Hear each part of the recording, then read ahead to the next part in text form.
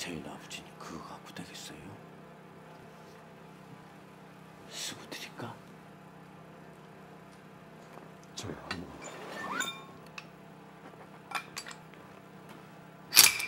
괜찮은데.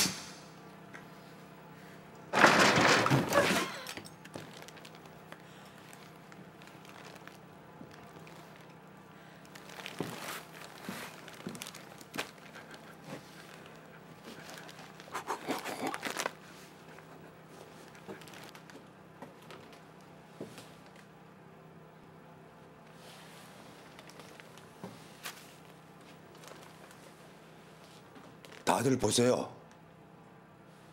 이렇게 하면 찌를 때 날 끝이 위로 미끄러지면서 잘 안 들어갑니다. 그럼 손이 미끄러지면서 다칠 수도 있고요. 그러니까 항상 이렇게 잡아주세요. 아니면 아예 이렇게 찍으시든지.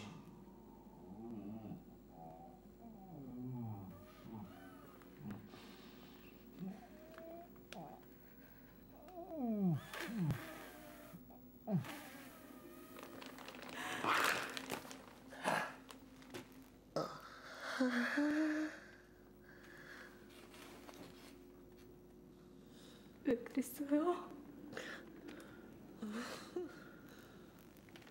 이렇게 멀쩡하게 생긴 사람이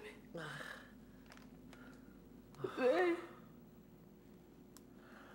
도대체 어?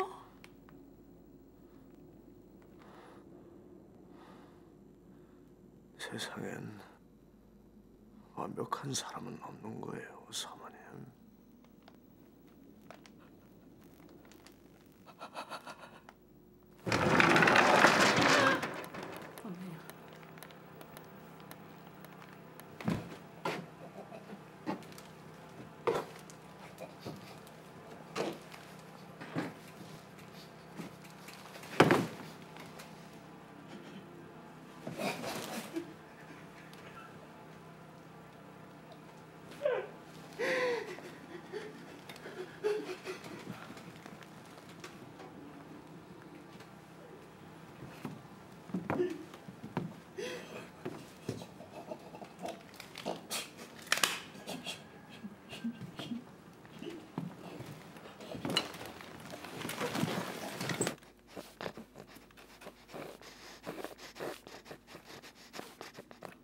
이칸 닫고